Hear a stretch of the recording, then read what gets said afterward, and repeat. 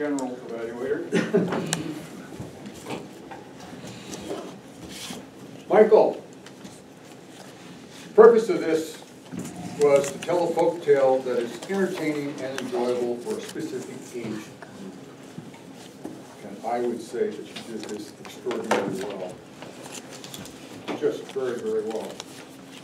There are lots of things to talk about that were very good points, and I don't have time to do that. It's a talk tool that you can watch over a few times on video, it would be great. One thing is, uh, how you attract your interest? Well, you have a very impressive demeanor in front of you. You are a powerful storyteller, and when you stand up here, you are just a powerful figure in front of the group. You had a very interesting uh, storyline that led up to the fight and other things that happened, but there was this, there was the drama that happened within your story that was really good and powerful that kept us uh, interested in it.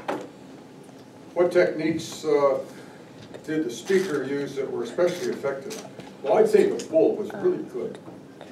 You really did a good job on the bull. Every, in fact, it wasn't just being likable, it was being the bull. That, that added so much to your talk. I mean, it was just powerful in what you did.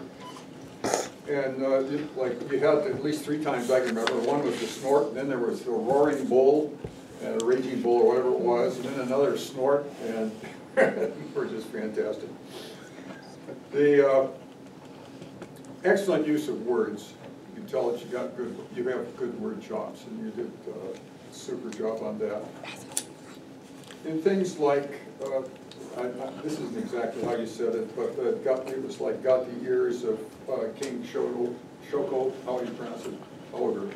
I lose track of it. In fact, that is a problem with this for my ears, is that although I've taken and been in Japan, remembering those names is, is, is a tough thing to do. But anyway, using term like that, got the ears of, of the king.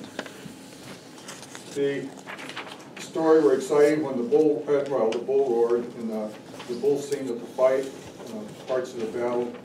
Uh, In the descriptions, I could visualize it dressing up. He, he, he made, you know, there was visual scenes that you built in our, in our head about the whole thing.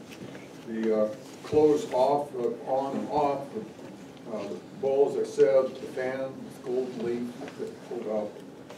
And uh, then it asked, what is the idea or mood the speaker was trying to convey? You know, I thought there was, a- you started out with a formality of the narrator, and I think that was required for the time and all of that in Japan and Okinawa, old people in Japan. So that was great. Was the speaker successful? Very, very much so. In fact, I would say that of all the times I've heard number, speech number one in the storytelling manual, this is the best I've ever heard.